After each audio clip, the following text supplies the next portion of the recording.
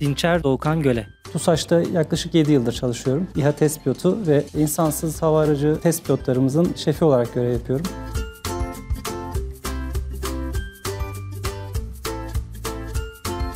Ben Eryaman'da oturuyorum. Eryaman'dan aracıma binerek e, geliyorum.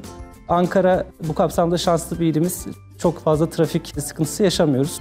15 dakika içerisinde e, şirkete giriş yapmış oluyorum.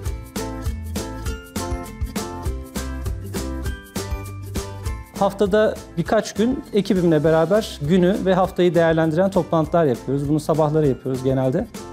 Günümüz içerisinde mutlaka eğer uçuş varsa briefingimiz ve debriefingimiz oluyor. Arada da bir e, uçuş fazımız var. Dolayısıyla bu dilim oldukça fazla bir bölümü kapsıyor aslında gün içerisinde.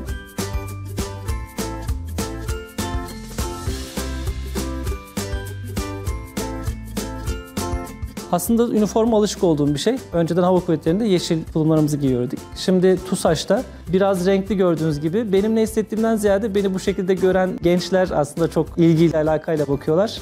Tulumu çok seviyorum. Aynı zamanda peçlere de çok düşkünüm. Bir peç koleksiyonum var. Peçler sadece bir ifadeyle aslında çok büyük şeyler anlatabiliyor. Bu anlamda çok keyifle giyiyorum tulumu.